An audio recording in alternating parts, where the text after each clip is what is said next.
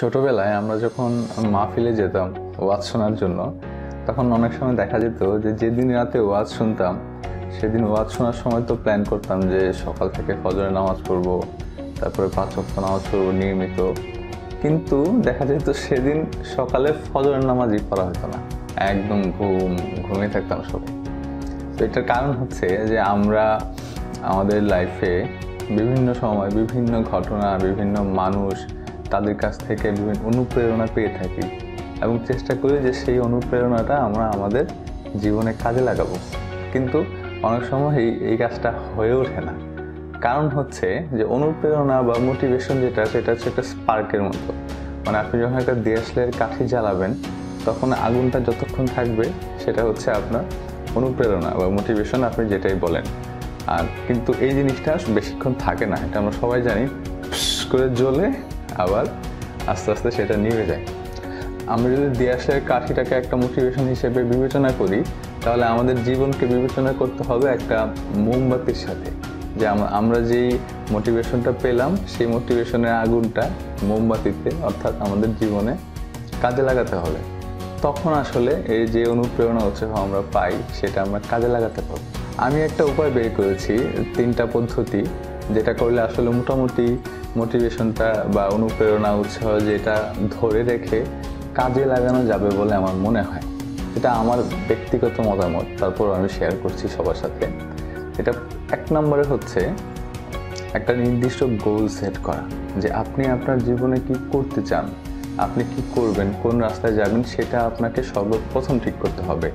এবং এটা অনেক গুরুত্বপূর্ণ এই কারণে আমরা যখন ভাবি যে আমি এটা করব ঠিক আছে, করছি। কিন্তু অনেক সময় যখন দেখি অন্য কেউ অন্য একটা কাজে ভালো করছে, তখন আমরা আমার, আমরা আবার ভাবি যে ওইটা করলে হয়তো আমার জন্য ভালো হবে। অথবা যখন দেখি আবার অন্য আরেকজন বিজনেস করছে, সে সেখানে ভালো করছে, তখন ভাবি, না, আমি হয়তো সেটা করব বা ব্যাংকে চাকরি করব। এটা সেটা নানান ধরনের চিন্তাভাবনা মাথায় চলে আসে। এবং এটা চলে আসাটাই স্বাভাবিক, কারণ মানুষ হিসাবে আমরা বিভিন্ন রকম ভাববো, এটা অস্বাভাবিক কিছু নয়। কিন্তু আমাদের যে মেইন যে গোলটা সেটা আমাদেরকে ঠিক রাখতে হবে। দুই নাম্বার।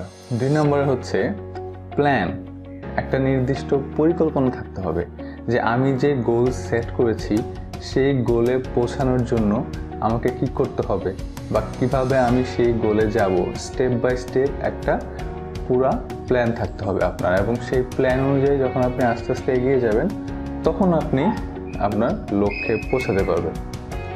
তিন নাম্বার ডেডলাইন ডেডলাইন নিয়ে অলরেডি আমি একটা ভিডিও বানিয়েছি, কারণ ডেডলাইন অনেক গুরুত্বপূর্ণ।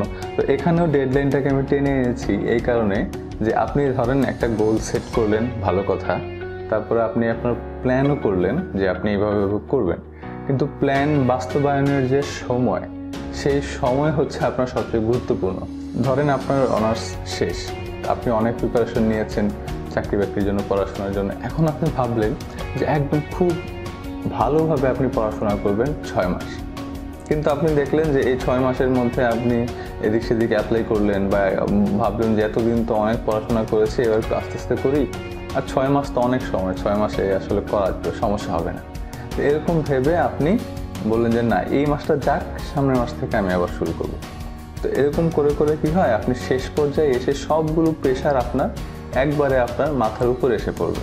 কিন্তু আপনি যখন সময় অনুযায়ী একটা গোল সেট করবেন যে না, আমি দশ দিন ম্যাথ নিয়ে পড়াশোনা করব বা দশ দিন ইংরেজি নিয়ে পড়াশোনা করব, এভাবে যখন আপনি একটা গোল সেট করবেন মানে আপনার প্ল্যানটাকে এভাবে সাজাবেন এবং নির্দিষ্ট সময়ের মধ্যে যখন আপনি করতে পারবেন, তখন দেখবেন আপনার রাস্তাটা খুব স্মুথলি আপনি যেতে পারছেন বা আপনি যেটা করতে চেয়েছিলেন সেটা খুব ভালোভাবে করতে পারবেন।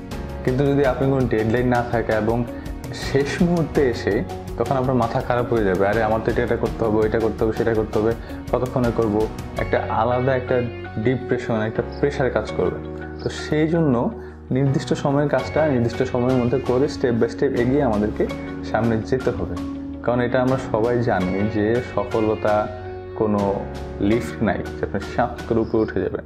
সফলতা হচ্ছে স্টেপ বাই স্টেপ আপনাকে উপরে উঠতে হবে। সেই জন্য সেই স্টেপগুলোর একটা নির্দিষ্ট সময় ঠিক করা, সেই সময়ে কাজ শেষ করা এবং লক্ষ্য অনুযায়ী যাওয়া অনেক ধৈর্য, অনেক পরিশ্রমের কাজ। তাই আবারও আমার তিনটা স্টেপ মনে করে দিচ্ছি। এক নাম্বার, একটা গোল সেট করতে হবে, দুই নাম্বার প্ল্যান করতে হবে এবং তিন নাম্বার ডেডলাইন থাকতে হবে যে প্রত্যেকটা কাজ আমি নির্দিষ্ট সময়ের মধ্যে শেষ করব।